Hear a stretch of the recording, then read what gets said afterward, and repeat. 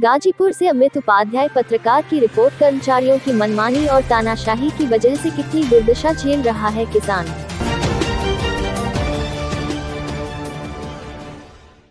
गाजीपुर, सरकारी अधिकारियों, कर्मचारियों की मनमानी और तानाशाही, किसान को चिक्कर घिन्नी बनाकर नचा रही है और इनकी पीड़ा को कोई दूर करने वाला नहीं है। करंडा के लखनचंदपुर क्रय केंद्र पर आठ दिन से अनाज ट्रैक्टरों में लेकर खड़े किसान अपनी खरीदारी करने की प्रतीक्षा कर रहे हैं।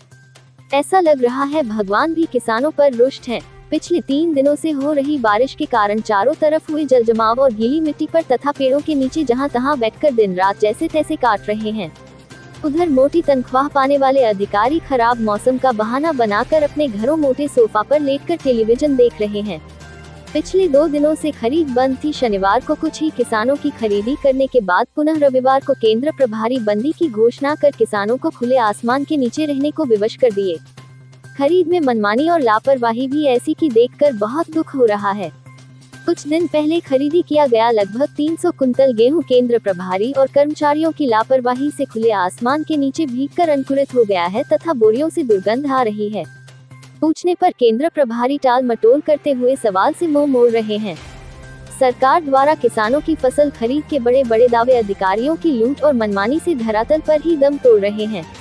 क्रय केंद्र पर रामनाथपुर निवासी किसान डॉक्टर दुष्यंत सिंह, सौरम निवासी संतोष यादव, अमित यादव, बनारसी यादव, अंकुर सिंह धरवा, नारायण सिंह सिकंदरपुर, मनोज यादव धनमान बिंद परमेट, मोनू, रामकेश यादव, नारायणपुर, संदीप यादव, विश्रामपुर कन्हैया प्रजापति संतोष कुमार गोशंदीपुर सहित दो दर्जन से अधिक किसानों ने आरोप लगाया कि यहाँ बिना नंबर की खरीद हो रही है और जब मन में आ रहा है केंद्र प्रभारी गोदाम में पर ताला बंद कर घर चले जा रहे हैं।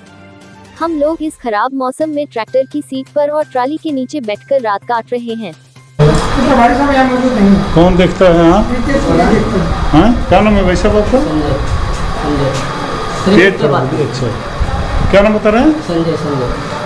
किसान लगातार आरोप लगा रहे हैं कि एक एक सप्ताह से यहाँ लोग खड़े हैं और बिना नंबर के भी ले लिया जा रहा है और आप बुलाते हैं चौबीस तारीख को ले उनतीस तारीख तक भी नहीं लेते हैं। क्या कर रहे हैं अठारह तारीख को काटा कम हो गया है, इसलिए नचा रहे हैं। हाँ? अठारह तारीख से ही काटा कम हो गया है। यहाँ की क्षमता थी छः सौ कुंटल की अच्छा। अब तीन सौ खरीदा जा रहा है। तीन सौ? हाँ इसलिए नचा रहे हैं।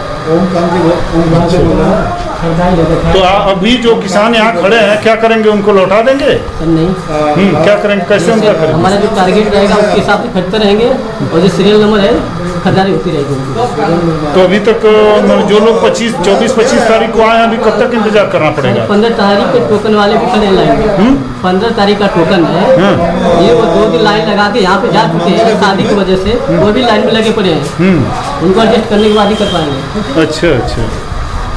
So